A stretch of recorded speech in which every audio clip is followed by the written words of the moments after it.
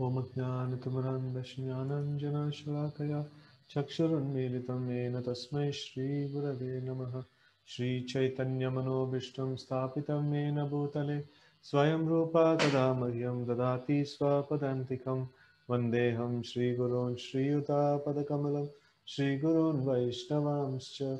श्रीरूपं साग्रजातं सगन रघुनाथान्वितं तं सजीवं। साद्वैतं कृष्ण परिजनासहितं कृष्णचैतन्यदेवं ललिता श्री विशाखान्विता हे कृष्णकुणा सिंधु दीनबंधो जगत्पते। गोपेश, गोपिका, कान्त, राधा कांत नमोस्तुते। तप्त कांचन गौरांगी राधे वृंदावनेश्वरी वृषभानो सुते देवी प्रणमा हरिप्रिये। वाञ्छाकल्पतरुभ्यश्च कृपा सिन्धुभ्येव च पतितानां पावनेभ्यो वैष्णवेभ्यो नमो नमः। जय श्रीकृष्ण चैतन्य प्रभु नित्यानन्द। श्री अद्वैत गदाधर श्रीवासादि हरे कृष्णा हरे कृष्णा कृष्णा, कृष्ण, हरे हरे। हरे राम हरे राम राम राम, हरे हरे। krishna so we'll be continuing our reading of bhagavad gita uh, chapter 6 sloka number 15 युञ्जनेवं सदात्मानं योगी नित्यमानसः शान्तिं निर्वाण परमां मत्संस्थाम् अधिगच्छति Thus, practicing constant control of the body, mind, and activities, the mystic transcendentalist, his mind regulated, attains to the kingdom of God or abode of Krishna by cessation of material existence. Purport The ultimate goal in practicing yoga is now clearly explained. Yoga practice is now uh, is not meant for attaining any kind of material facility. It is to be enabled by cessation of all material existence. One who seeks an improvement in health or uh, aspires after material perfection is no yogi, according to Bhagavad Gita. Nor does uh, cessation of material existence entails one's entering into the void, which is uh, only a myth. There is no void anywhere within the creation of the Lord. Rather, the cessation of material existence enables one to enter into spiritual sky, the abode of the Lord. The abode of the Lord is also clearly described in Bhagavad Gita as that place where there is no need of sun, moon, or electricity. Natad bhashayate shuryo na sashanko na pavakaha yad katvana navartante tadama paramam mama. All the planets in the spiritual kingdom are self-illuminated like the sun in the material sky. The kingdom of God is everywhere, but the spiritual sky and the planets thereof are called Param Dhama or superior abodes. So here we see that uh, um, by cessation of material activities, Um, you know, we will be able to reach to the spiritual abode. This is one of the things that is mentioned here. Hmm. A consummate yogi who is perfect in understanding Lord Krishna, as is clearly stated herein by the Lord Himself, Machita mat, machita mat uh, paraha mattanam, can attain real peace and can ultimately reach his abode, Krishna Loka, known as Goloka Vrindavan. In Brahma Samhita, it is clearly stated, Goloka eva nivasatya kilatma bhutaha. So the Lord is although residing always in his abode uh, called Goloka, is the all-pervading Brahman and the localized Paramatma, as well as uh, as well by dint of his superior spiritual energies. No one can reach the spiritual sky Vaikuntha or enter into Lord's eternal abode Goloka Vrindavan without proper understanding of uh, Krishna and his plenary, uh, plenary expansion Vishnu. Therefore, a person working in Krishna consciousness is the perfect yogi because his mind is always absorbed in Krishna's activities. Savai mana Krishna padara vindayo. Um, in the Vedas also, Svetashvatara Upanishad 3.8, we learn Tat uh, Tam Eva Viditval Mrityum Eti. Um, one can overcome the path of birth and death only by understanding the Supreme Personality of Godhead, Krishna. In other words, perfection of the yoga system is the attainment of freedom from material existence and not uh, some magical jugglery of gymna- gymnastic feats to befool innocent people. So one thing is very clear that uh, no mat uh, it is uh, very nicely put here mat chitta mat paraha mat sthanam. So it's like uh, one who is uh, constantly meditating on the Supreme Lord, no mat chitta mat paraha.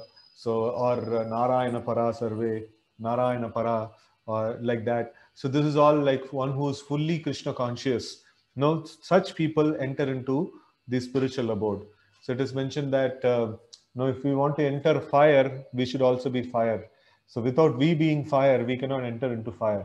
So because if we have to enter into Goloka Vrindavan or to get uh, closer to Krishna, then we have to be as pure as the Supreme Lord. And how we will get pure like that? By association of the Supreme Lord, right? So that way, like we have to uh, progress towards that direction. Okay, so now let's go to the 16th shloka.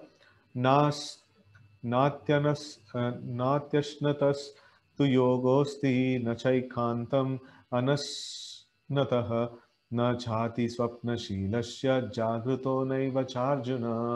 There is no possibility of once becoming a yogi or Arjuna if one eats too much or eats too little, sleeps too much or does not sleep enough. Okay, this is all regulations now coming in. So it's nice. Uh, this and next sloka is very nice. Uh, very, very practical for our application. Purport Regulation of diet and sleep is recommended herein for the yogis. Too much eating means eating more than uh, is required to keep the body and soul together. That means to be alive.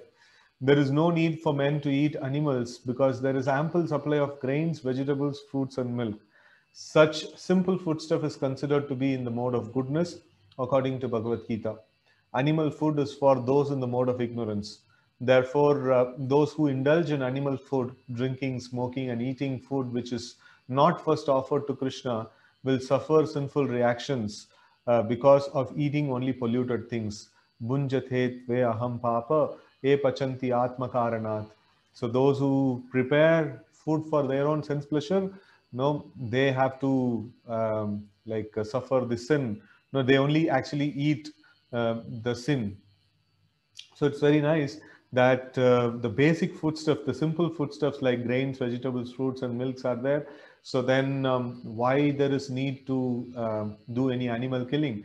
And uh, here it's uh, it's put like animal food, drinking, smoking, and eating food which is not first offered to Krishna. So that means like uh, eating directly bhoga is also like quite simple.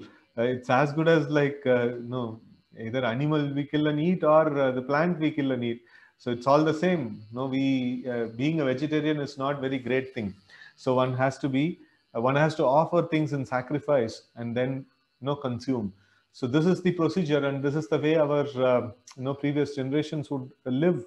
And um, directly honoring or directly uh, taking bhoga is like uh, very very uh, know sinful. So this is all the effects of kali yuga and that too uh, probably in last one or two generations all these things have happened. Otherwise before that people would in any nice cultured family they would have this uh, no sacrifice. They would uh, have some form of bhoga offering. And then they would only have prashadam so that's the uh, uh, cultured way. So now even in cultured families even in brahmanical families like no this culture is gone. So it's like uh, no gore kali yuga. It's almost like the kali yuga is like very very uh, no acute now right?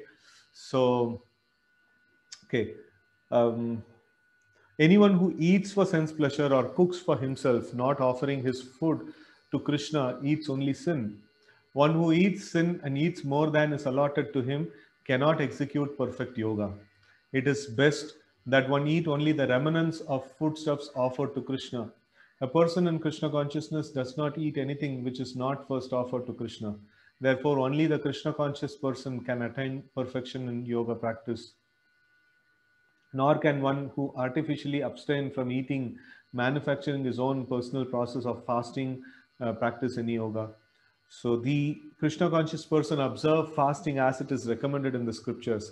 He does not fast or eat more than is required, and uh, uh, he is thus competent to perform yoga practice.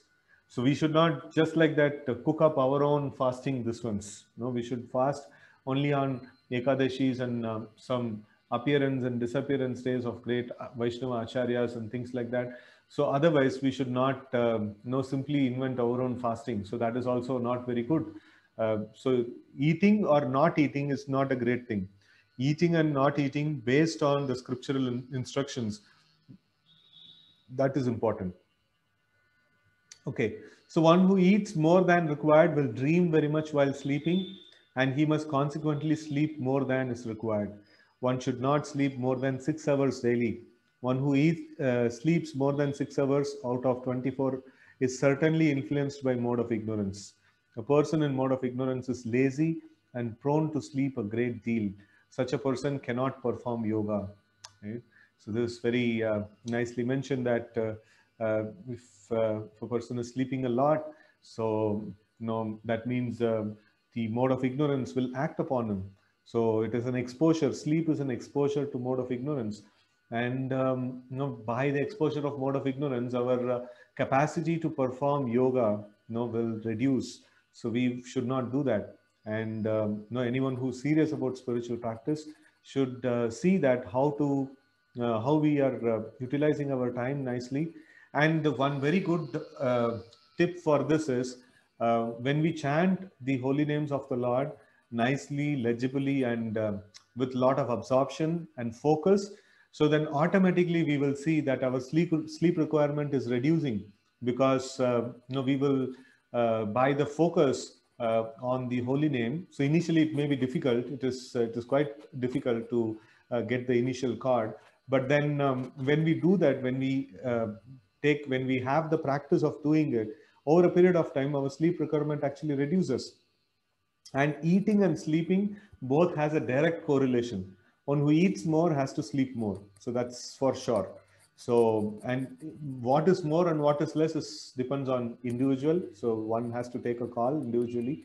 Uh, so it's it's based on uh, one's capacity to digest and one's uh, prakriti. So that's completely different for different people so but then um, one who eats more uh, according to his capacity know he has to sleep more. So that's uh, natural know cannot be avoided.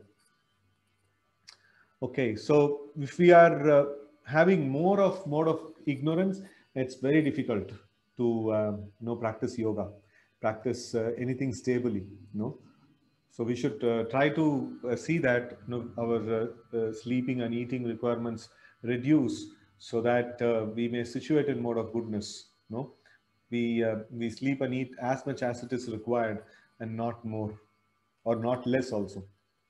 Text 17. युक्ताहार विहारस्य युक्तचेतस् चेतस्य कर्मसु युक्तस्वप्नावबोधस्य योग भवति दुःखः Okay, he who is regulated in his habits of eating, sleeping, react, recreation, and work can mitigate all material pains by practicing the yoga system. So, like uh, for driving out no material pains, we need uh, definitely yoga system. So, but then um, no, if it is accompanied by regulated eating, sleeping, recreation, and work, eating and sleeping directly we can understand what is this recreation and work. Even work has to be regulated even our recreation has to be regulated. Nothing can go beyond bounds. We should understand that we are there in the material world. We are caught up in the whirlpool of material world, right? So it is it is not a safe place. It is not a nice place that we are there in. So it is a place of um, a misery. It's a place of uh, it's a foreign land that we are in, and uh, it's kind of a diseased condition. So in diseased condition, everything is measured, everything is regulated right? So, but then in the healthy condition, a person eats a little more or no does something, it doesn't matter. So, but then in the disease condition, everything is measured. So we are in disease condition in the material world. And once we get back to the spiritual world, everything is unlimited there. So there's no anything and everything we can do. We will not be affected. But right now we are diseased. No, what is the symptom of the disease? The symptom of the disease is we have a material body no, that, that is the symptom of the disease. And till the time that this disease is there, we have to measure everything, we have to regulate everything, right? So this is something that has been killed in the Kali Yuga, that uh, being in a regulated way. no nothing is regulated so everything can be done unlimitedly no unlimited internet is provided unlimited uh, what is that uh, entertainment is provided unlimited food is provided no nothing is regulated right so that's the main problem of kali yuga that uh, no sleep is uh, unregulated. No everything is unregulated. So it's it's a major problem. So people cannot perform yoga system. Any pro- any yoga system to perform it requires you know these stabilities. You know these things have to be regulated. You know in the third chapter itself uh, krishna mentions when he says that uh, uh, this the lust sits on mind intelligence and the senses and one have to regulate these three things no? So that is the same thing again you know, in a more detailed way it is coming here uh, in, in the in the dhyana yoga chapter. So this regulation is really really very important. Okay. Purport extravagance in the matter of eating sleeping defending and mating which are demands of the body can block advancement in practice of yoga. Right? as far as eating is concerned it can be regulated only when one is practiced to take and accept prasadam sanctified food. Um, lord krishna is offered according to uh, the bhagavad gita 926 vegetables fruits flowers grains milk etc patram pushpam phalam toyam right? Uh, in this way, a person in Krishna consciousness becomes automatically trained to accept food, uh, not meant, uh, automatically trained not to accept food, not meant for human consumption, or not in category of goodness. As far as sleeping is concerned, a Krishna conscious person is always alert in discharge of his duties in Krishna consciousness, and therefore any unnecessary time spent uh, sleeping is considered a great loss avyartha kalatvam. No, vyartha means uh, it's uh, uselessly spent, vyartha, or uh, it's it's like just kind of No, that is like vyartha. So avyartha means like uh, the time should not be wasted. Avyartha kalatvam. A Krishna conscious person cannot bear to pass a minute of his life without being engaged in the service of the Lord. Therefore, his sleeping is kept to minimum. His ideal in this respect is Srila Rupa Goswami, who was always engaged in the service of Krishna and who could not sleep more than two hours a day and sometimes not even that. So Srila Prabhupada used to do this and he also used to sleep only for two hours a day.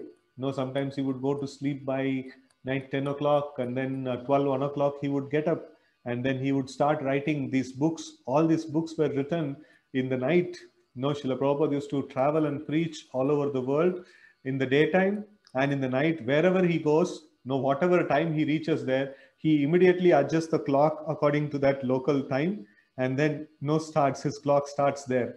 And then uh, he just, uh, no, even if there is no jet lag and things like that, it would not affect him. Or even if it affects him, that he would not no deter from his schedule. He would be pakka on his schedule and he would just get up and uh, he would start writing you know he would start writing the books and in the morning again you know he would uh, uh, like uh, uh, you know start with the mangalarti and all the programs and everything so it was like uh, the young american people like who were joining the movement at that point in time they were completely astonished to see such a person you know who would require only two two hours or three hours of sleep and then um, you know going on and on and on with uh, so much volumes of service.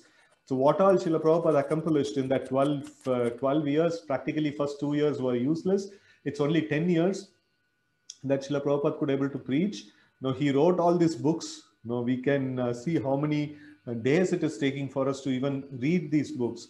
So he wrote all these books, volumes and volumes of books and then um, he uh, traveled and preached all over the world. He initiated close to 5,000 disciples.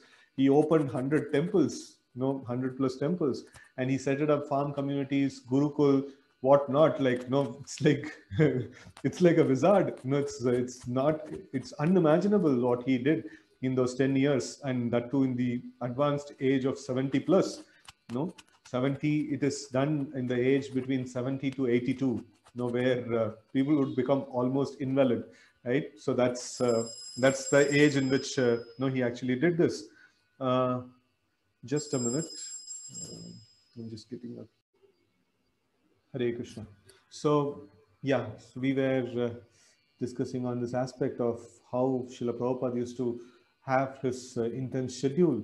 So, you know, this uh, Prabhupada is telling our uh, ideal in this uh, case is Rupa Goswami, right? So he would sleep only for two hours and then um, he would work very hard, uh, like for uh, writing all the, uh, you know, Nectar of Devotion, Nectar of Instruction, so many books, you know, they had written.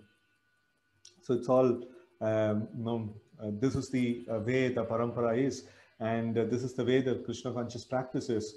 So as we progress in our Krishna conscious practice, gradually the eating, sleeping, and mating and defending all these things reduces. No, all the material needs reduces gradually, right? Okay. And the Thakur Haridas would not even accept prasadam nor even sleep for, for a moment without finishing his daily routine of chanting with his beads 300,000 names. That means uh, Haridas Thakur would chant 192 rounds and uh, if without finishing the 192 rounds, he would not take even um, food, no anything. He would not accept anything without uh, chanting his rounds. So it's like practically 24 hours it used to take, know, for him to finish. Like it just he would take something little bit, and then the next day's work will start. Right? As far as work is concerned, a Krishna conscious person does not do anything which is not connected with Krishna's interest, and thus his work is always regulated and is untainted by sense gratification. So by being engaged in Krishna's service, we will be untainted by sense gratification. Right? Since there is no question of sense gratification, uh, there is no material leisure for a person in Krishna consciousness. And because he's regulated in all his work, speech, sleep, wakefulness, and all other bodily activities, there is no material misery for him. Yoga bhavati dukkha. So like the dukkha is finished. Okay, text 18. Yada vinit, uh, viniyatam chittam uh, atmanyeva uh, atmanyeva vatishthathe nispruha सर्वकामेभ्यो युक्त इति उच्यते तदा Okay, so there is a question. Uh, explain more about uh, extravagance in the matter of defending, how it should be uh, uh, for a devotee. So defending means uh, where it is necessary to be defended. So we have to do that, especially when it is coming uh, a challenge about the Lord or the philosophy of Krishna consciousness is challenged. So then uh, we take the opportunity to defend ourselves. So, but then if it is about uh, oneself and uh, you know things like that, so we would just accept. Even we are at fault, you know, we accept. Okay, fine. Uh, like for example, Rupa Goswami, as Prabhupada is mentioning, you know, he's our ideal. Uh, so once a Digvijay Pandit, he came and uh, he wanted to, uh, he had won over great Uh, people in all over the, uh, all over uh, India. And then he wanted to debate with Rupa Goswami and, and Sanatana Goswami and all. So they like kind of, they just wrote in their Vijay Patra. So they, these, these Pandits, they would carry a Vijay Patra whomever they argue and defeat, so they would take a signature from them. And uh, no, that means they have accepted defeat. So no, this Rupa Goswami told like, okay, no, I'm not interested. So if you want, wherever you want a signature, I'll I'll put. I'm I'm not uh, willing to have a debate.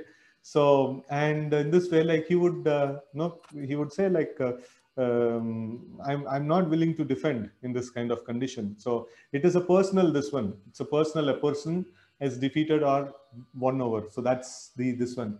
So when Jiva Goswami, so the, uh, like uh, uh, the other Goswami, like who's younger in uh, age, and he saw that Sanatan Goswami and Rupa Goswami had signed this Vijay Patra of this Digvijay Pandit. So he could not able to tolerate. So he like um, just to defend know his uh, uh, like uh, his superiors. So he argued and he defeated him. Right. So in this way, we can see that. So there is sufficient examples are there in the scriptures. So when it comes to our own personal defense, no, a devotee says, okay, fine. No, I don't want to defend. Anybody wants to say anything about me, it's okay. No, I'm completely okay with that. So, but then when it when it comes to the Lord and uh, devotees of the Lord and the scriptures and the philosophy and things like that, he doesn't accept any um, anything uh, very cheaply. So sometimes, uh, no people say that oh, sadhu means you should not fight. No, you should not have any. Uh, this one you should not defend for anything. No. So, but then uh, that is not the scriptural. This one. So, if there is uh, an offense towards the Lord or his devotees, then a sadhu cannot keep quiet so then he has to act very strongly, right? So the defense um, has to be applied as it is mentioned or as it is expected in the Vaishnava Achar, you know, like that it has to be. So otherwise it will become extravagance. An extravagance of defense. Anything that is not prescribed, uh, anything that is not prescribed uh, in the scriptures, if we do, our focus in Krishna consciousness will be disturbed we will not be able to practice Krishna consciousness properly. We will not be able to focus on the holy names properly. Right? So defense is defense. But then if we do it for ourselves, we will be disturbed. If we do it to protect the Lord and his devotees and the philosophy and uh, the scriptures, so then um, we will be able to chant better, you know, because we are following the scriptures, right? So the following of scriptures is very, very important, right? So that activity which is done according to the scriptures will not disturb us. No, be it anything, no, be it uh, be it the sleeping, be it the eating, be it the mating, be it the uh, defending, whatever it is.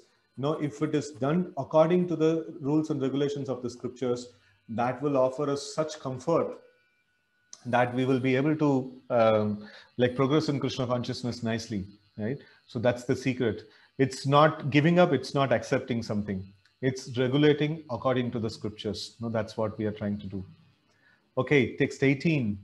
Yada vinit viniyatam chittam atmanyeva एवावतिष्ठते निस्पृहः सर्वकामेभ्यो युक्त इति उच्यते tada.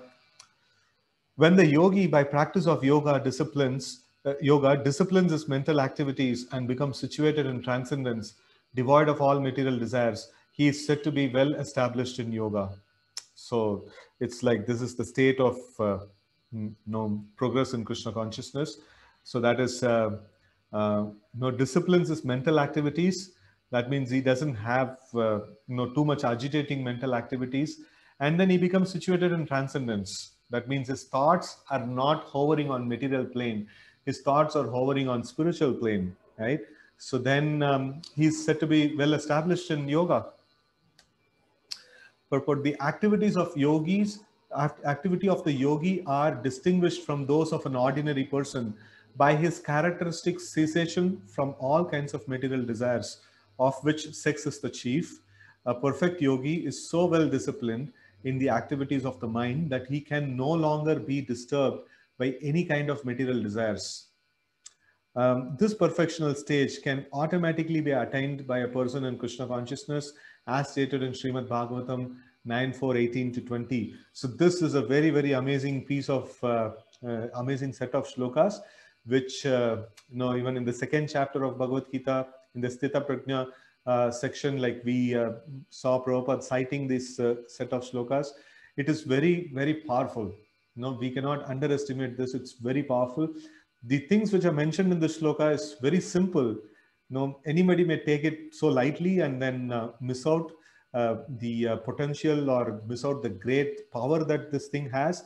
Uh, but then if we put our uh, focus on this and if we put, um, uh, what is that, if we actually take it seriously, it's really very powerful.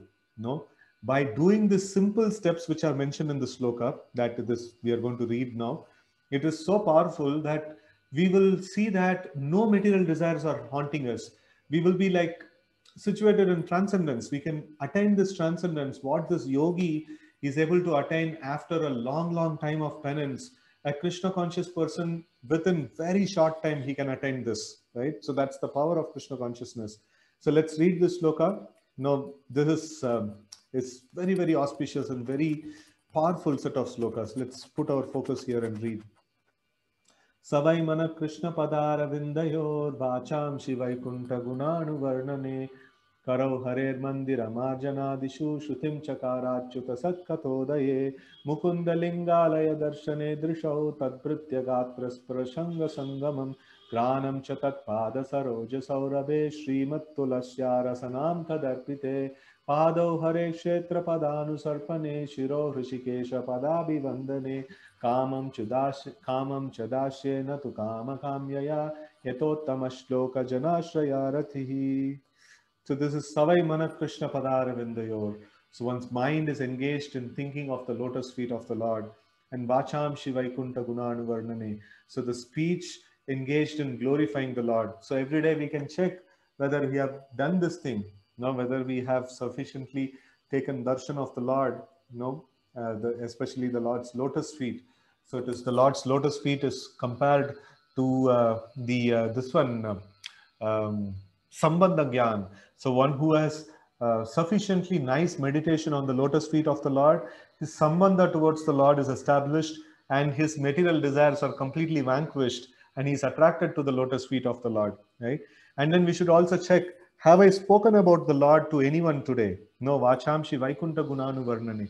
So I should speak about the guna and leela and the philosophy of the Supreme Lord right so we have to speak that is the perfection of the vacha you know the the, the speech and then karau harer mandira marjanadishu so did i clean the temple of the lord today and shrutim chakara achyuta sat katodaye so the ear did the ear hear about the supreme lord today? And then mukunda lingalaya darshane drishau. So like uh, the seeing capacity should be used for taking darshan of the lord in the temple. And then tad brutya gatra sparashanga sangamam. So, like um, the sense of touch is used by touching the bodies of the devotees. And then granam chatat pada saroja saurabe. So, by the smelling, uh, it should be used for smelling the flowers that are offered to the Lord. So, in ISKCON temples, like when we see when the arati happens, like after, you know, the uh, when the flowers are offered to the Lord, so the flowers are passed on so that uh, people can you know uh, smell it right in the same way we can do it in the home also so the flowers that are offered to the Lord, we should collect them and then we should uh, smell them. No. So after smelling, we should not again keep it in the altar. So it's like once we collect the flowers from the altar, we should smell them, right? And then Srimat Tulasya Rasanam Tadarpite. We should taste the tulsi leaves that are offered to the lotus feet of the Lord, or even you know, offered in the bhoga preparations and then offered to the Lord. So when it comes, we should specially take you know, the tulsi leaves and we should taste them no, that has so much potency to give Krishna consciousness. And then Pado Hare Kshetra Padanusarpane. The legs should be used for walking towards the temple. And Shiro Rishikesha Padavivandane. The head should be used to offer obeisances to the Lord. Right? So we should offer pranams to the Lord by using our head. And then Kamam Chadashye, Natu Kama Kamyaye. So the desire, no Kamam Chadashye, like no, we should uh, we should uh, use our desires to um, we should have desires as a servant of the lord no for service of the lord we should have desires and then natu kama kamye like not for sense gratification right? Yatotama shloka janashrayaratihi so this is the perfect way you know the king ambarish used to follow. Let's read the translation here. King ambarish first of all engaged his mind on the lotus feet of the of lord krishna. Then uh, one after another he engaged his words in describing the transcendental qualities of the Lord, his hands in mopping the temple of the Lord, his ears in hearing the activities of the Lord, his eyes in seeing the transcendental forms of the Lord, his body in touching the bodies of the devotees, his sense of smell in smelling the scents of the lotus flowers offered to the Lord, his tongue in tasting the tulsi leaves offered at the lotus feet of the Lord, his legs in going to the places of pilgrimage and the temples of the Lord, his head in offering obeisances unto the Lord, and his desires in executing the mission of the Lord. All these transcendental activities are quite benefiting, quite befitting a pure devotee. This transcendental stage may be inexpressibly, uh, inexpressible subjectively by the followers of the impersonalist path, but it becomes very easy and practical for a person in Krishna consciousness. And it is apparent in the above description of the engagements of Maharaj Ambarish, unless the mind is fixed on the lotus feet of Lord by constant remembrance, such transcendental engagements are not practical. in the devo devotional service of the Lord. Therefore, these prescribed activities are called archana or engaging all the senses in the service of the Lord. So when we do the archana vidhi, when we do uh, the arati and archana of the Lord, automatically all our senses becomes engaged in the service of the Lord. The senses and the mind require engagements. Simply abnegation is not practical. Therefore, for people in general, especially those who are not in the renounced order of life, transcendental engagement of the senses and the mind, as described above, is the perfect process for transcendental achievement, which is called yukta in the Bhagavad Gita. So it's very, very simple. No, basically, we have to see all our senses, how it is nicely engaged in the service of the Lord. And I would recommend this, you know, every devotee should memorize this set of sloka. And this is kind of a ready reckoner. Every day, you know, before uh, retiring, you know, for the day, like we should, uh, you know, chant the slokas and then we should see that have I done all these things? So if we have done, so then Srila Prabhupada is mentioning in the second chapter, you know, when he was citing this, he was mentioning, this is so very powerful. You know, we will become you know, Krishna conscious so very soon just by doing this. So like, um, you know, I think uh, devotees should memorize this and uh, they should uh, chant it before the end of the day and then, um, you know, uh, see uh, just offer a mental tick to one of each and every one of these items, right? So who all want to do this? You, know, you can actually you know, uh, put down saying that uh, you, know, you will be able to do it. And if you want to do it, how long time you will take to memorize this? You, know, you can just put it on the chat box.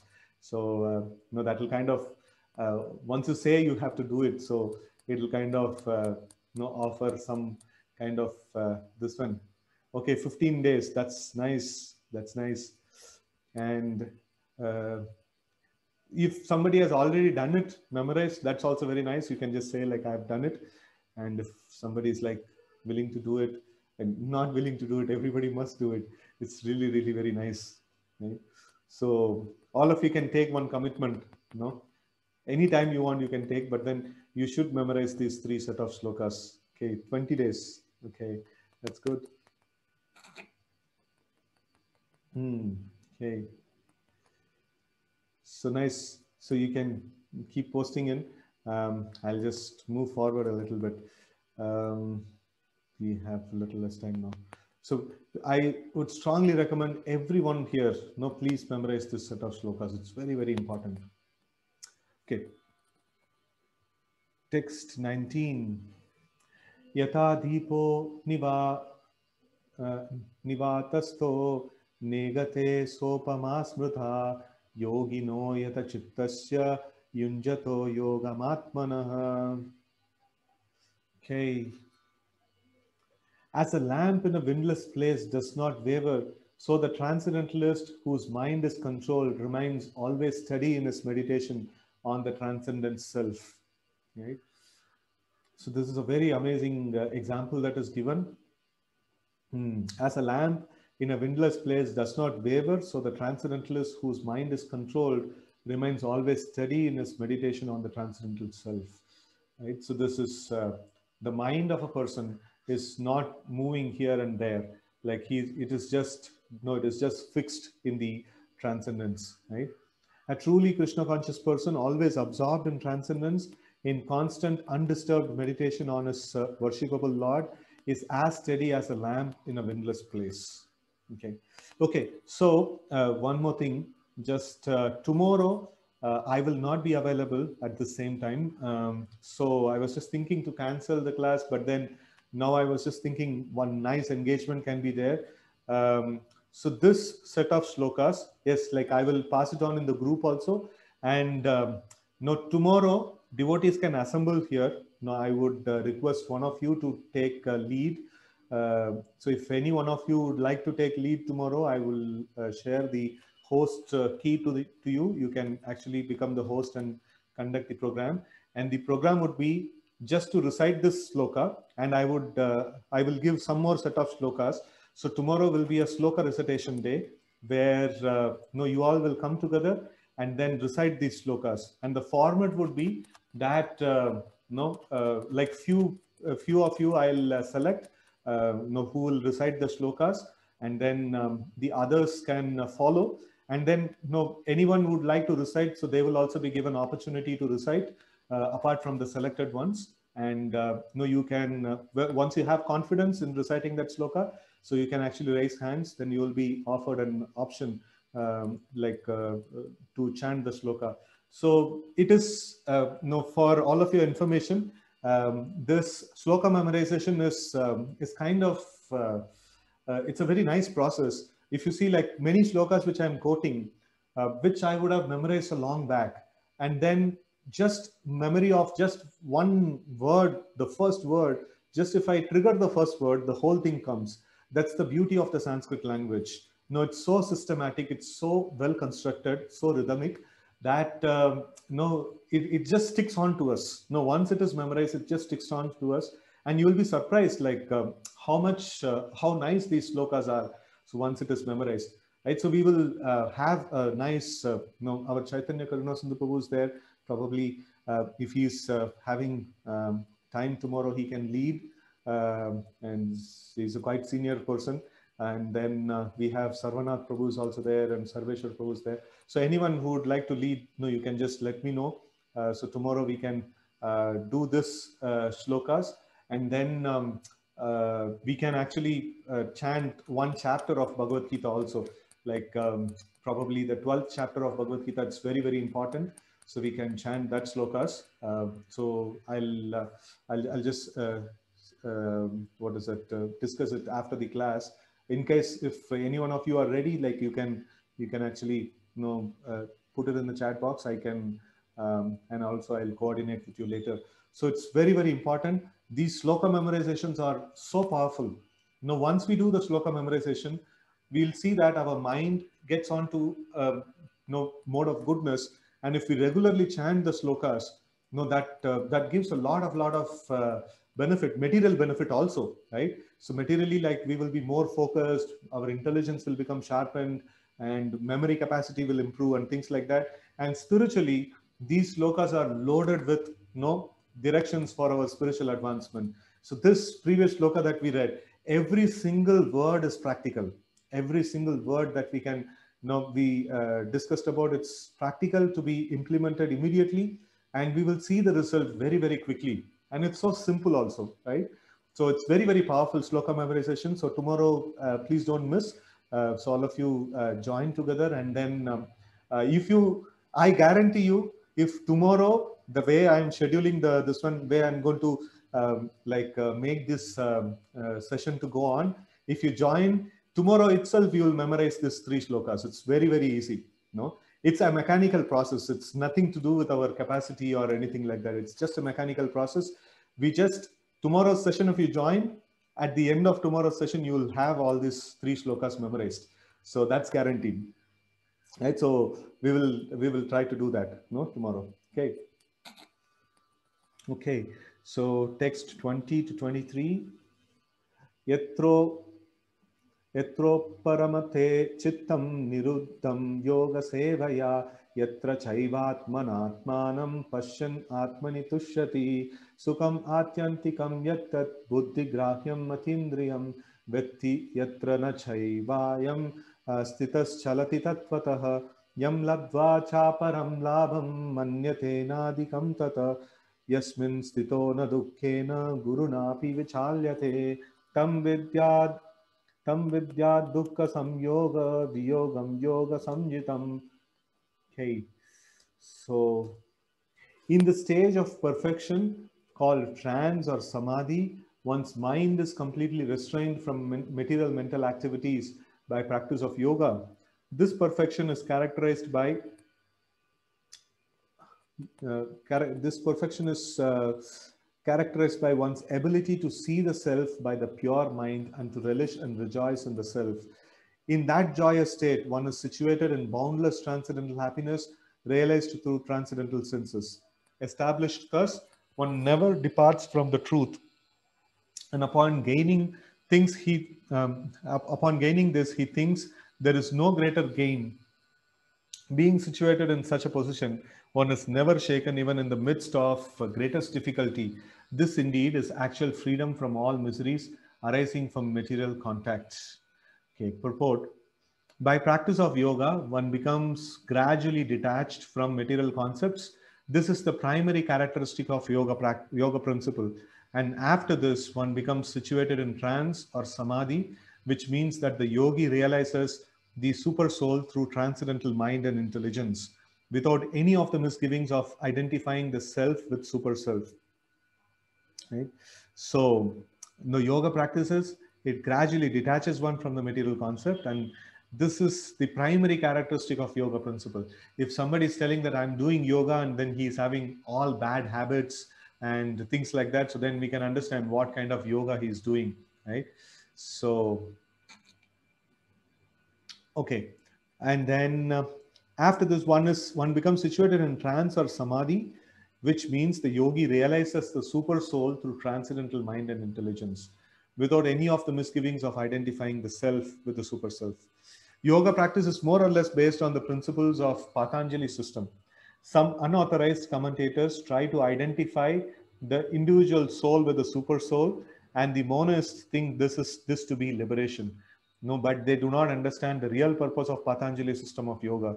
There is an acceptance of transcendental pleasure in the Patanjali system, but the monists do not accept this transcendental pleasure out of fear of jeopardizing the theory of oneness. Right? So there is uh, know this uh, this uh, the monist or the Mayavadis. So they want to merge in the existence of the Brahman, and um, for them, know, uh, meditating on the super soul and then um, like uh, having that pleasurable exchange of devotional service to the Lord and things like that. No, they don't want to enter into that because they fear they may lose their uh, no, they they may lose the uh, this one uh, merging into that uh, supreme Brahman. So out of fear of like uh, uh, you know getting away from the oneness, so they don't even enjoy the pleasure that is available in this whole process of executing all this various you know Krishna conscious activities, right? Or even the meditational activities. The duality of knowledge and knower is not accepted by the non-dualist, but in the verse uh, in this verse, transcendental pleasure realized through transcendental senses is accepted. So that means, uh, like uh, a person who is situated in trance, he is experiencing bliss according to uh, the uh, this one, according to the monist or non-dualist or the Mayavadis. So they don't, for them, any any happiness or distress experienced, you know, means you you are in a material consciousness. Spiritual consciousness means no happiness no distress. It's all no it's all uh, what is that um, no uh, without any emotions. No that's what is their conception of uh, spiritual advancement right? So you know when they read these sections of uh, getting pleasure in the spiritual uh, path so they say like you are getting pleasure that means you are material you are experiencing something material. All the emotions positive negative everything is they consider to be like uh, material. And then um, you know they they consider only uh, nirvana brahma nirvana they call. So and uh, no happiness no distress it's all um, i don't know what to say like it's all stale pale uh, no uh, emptiness. No that's what they actually look for. So they miss out of all these pleasures that is available in the process and this is corroborated by patanjali muni the famous exponent of yoga system the great sage declares in the Yoga Sutras, Purushartha Sunyanam uh, Gunanam Prati Pravasavaha Kaivalyam Swarupa Pratishta Cha uh, Chiti Shaktiriti. Uh, so the Chiti Shakti um, or internal potency is transcendental. Purushartha means mm, material religiosity, economic development, sense gratification, and at the end, attempt to become one with the Supreme. So um, this is Dharma, Artha, Kama, and Moksha. So this is generally called as Purushartha. Okay, this oneness with the Supreme is called Kaivalyam by the monist, but according to Patanjali, this Kaivalyam is an internal or transcendental potency by which the living entity become aware of its constitutional position. In the words of Lord Chaitanya, this state of affair is called Cheto Darpana Marjanam or clearance of the impure mirror of the mind. This clearance is actually liberation or Bhava Maha, Bhava, uh, sorry, Bhava Maha Dava Agni Nirvapanam. So the theory of nirvana also preliminarily, uh, primarily corresponds with this principle. So that means nirvana means what? Giving up the material things and being aware of spiritual things. According to the Mayavadis, it is only giving up the material things and there is nothing spiritual over there. So it's just one Brahman without any quality, without any emotions, without any expressions, and they just uh, think about that. So the moment there is a variety, there is some emotions and things like that, immediately they'll say, oh, this is all material. No, then, uh, so that's their problem. So here, uh, but the Krishna consciousness, we see that uh, know, the material things have variety, the spiritual things also have variety. It's not that anything that has variety is material. So even spiritual things have variety and we have to become aware of the spiritual variety, right? So in Bhagavatam 2.10, 6, it is called Swarupena Vyavastitihi. Muktir Hitva Anyata Rupam Swarupena Vyavastitihi. Right? So Mukti means what? Hitva means giving up. Uh, mukti means Hitva Anyata Rupam. So to give up all other Anyata Rupam and then um, Swarupena Vyavastitihi. So to uh, to be reminded, uh, to be situated in one's own Swarupa, that is to be servant of the Lord so vyavastitihi. So that is called mukti. No, kaivalyam or mukti or nirvana means uh, not giving up everything and then becoming zero. It is uh, to become situated in our original swarupa, that is to be a servant of the Lord, right? So the Bhagavad Gita also confirms the situation in this verse.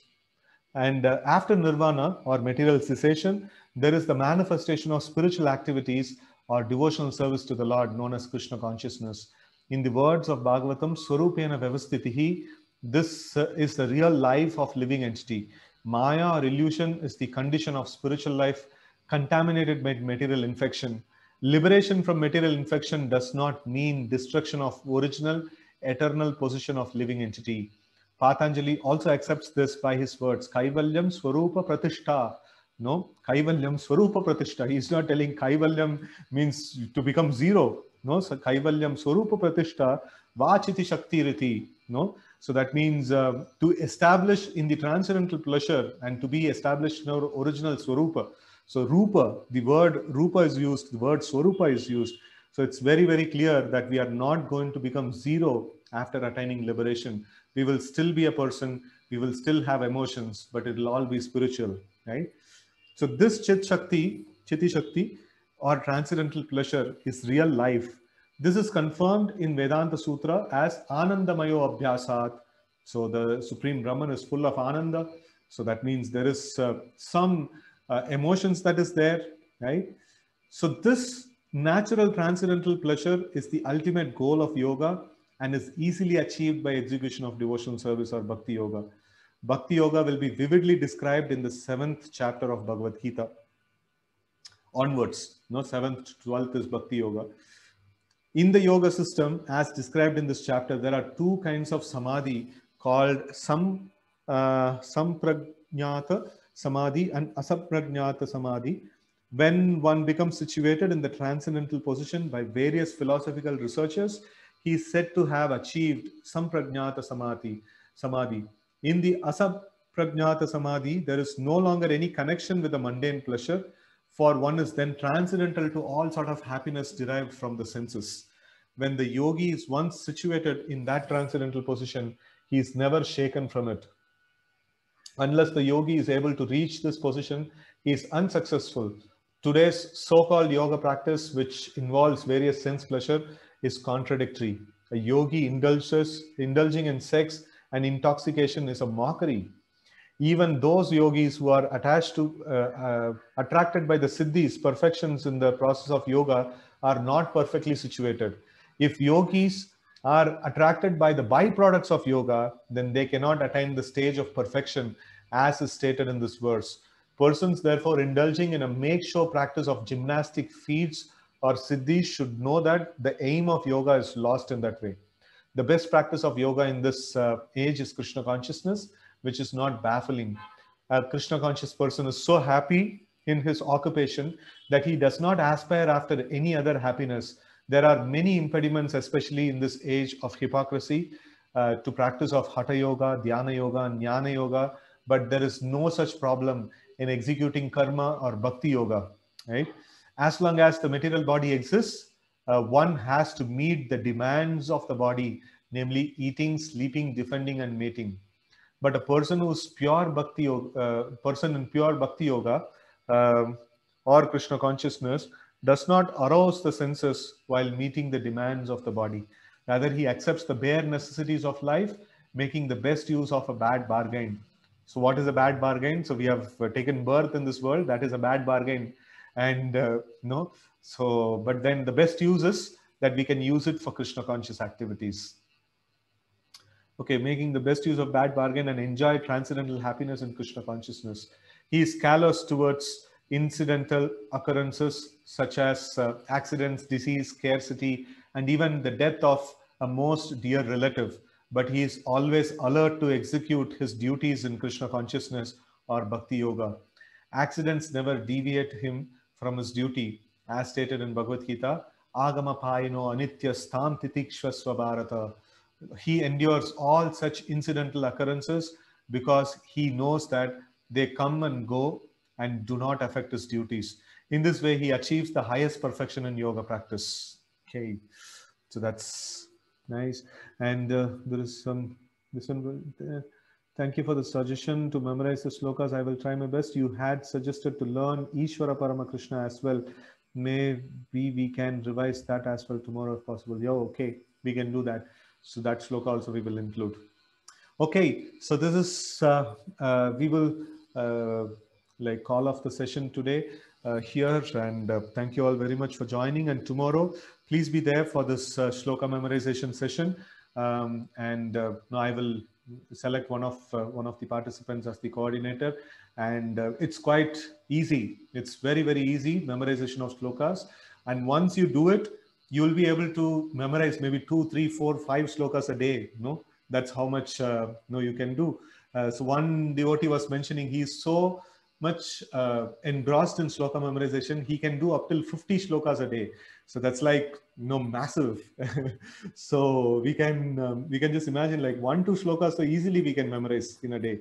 So and then recitation of these shlokas, whichever shlokas we memorize, we should recite them every day. No, we should make a note of them and we should recite them every day, and it will become really very powerful. This practice is really really very powerful.